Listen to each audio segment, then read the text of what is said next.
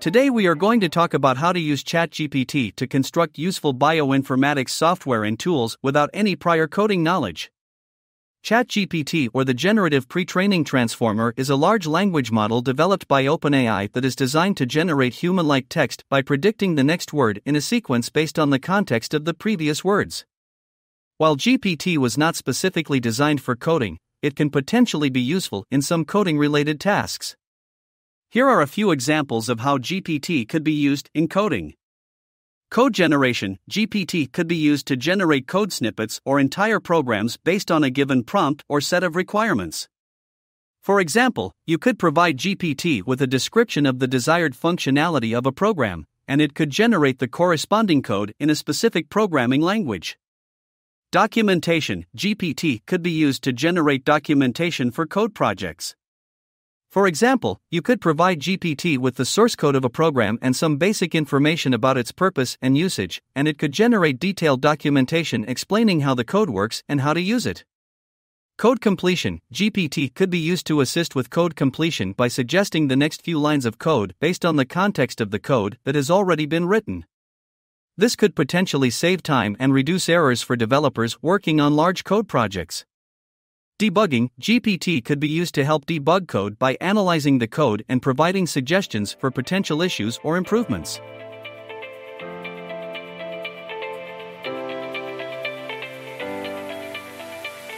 Now let's look at how to construct some simple GUI software with the help of ChatGPT without any coding knowledge.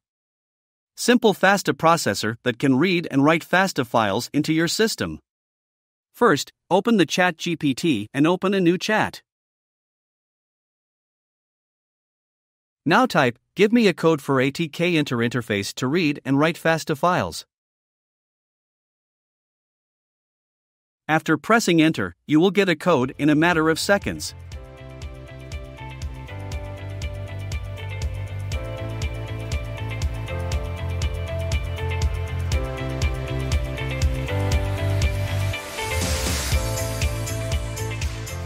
Now, all you have to do is copy this code, paste it into the Python PyCharm interface, and run the program.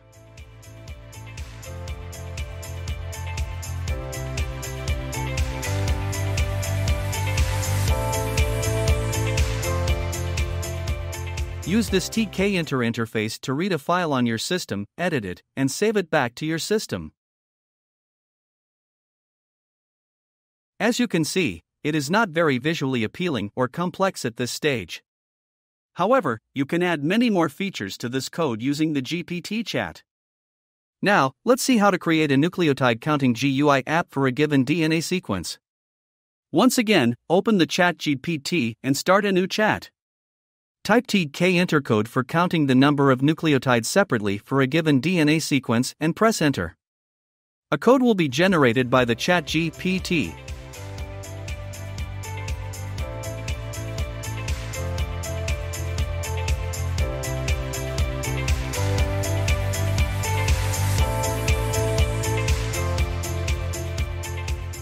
Copy the code and paste it on the PyCharm interface. Give it a run.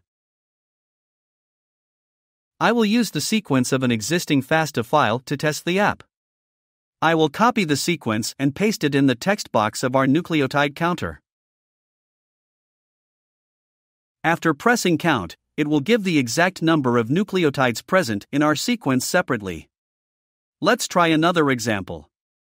This time, I will be using another sequence. Again, you can develop these simple tools into something bigger by just using the ChatGPT without knowing anything about coding. Now let's see how to construct a GUI to conduct a blast for a given sequence. First, let's see what is a blast. BLAST or the Basic Local Alignment Search Tool is a software program and web based tool that searches a given sequence against a database of sequences and returns a list of similar sequences.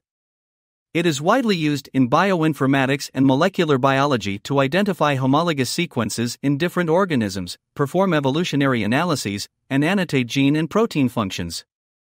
As usual, to build the GUI, what we just need to do is ask ChatGPT to generate the tkinter code that build an interface which conduct blast for a given FASTA file. Copy the code, paste it in PyCharm, and run the program. Then select a FASTA file in your system and click on the Blast button. This would take several minutes to give the results.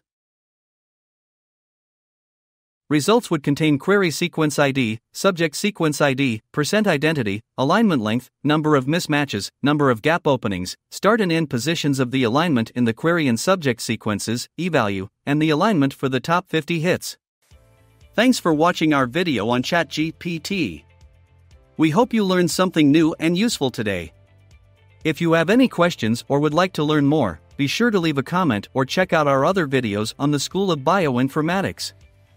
We know that learning can be hard work, so we want to thank you for taking the time to watch and engage with our content. If you found this video helpful, please consider giving it a thumbs up and subscribing to our channel. This helps us to create more content like this and helps more people discover our videos. Again, thanks for watching and we hope to see you in our next video.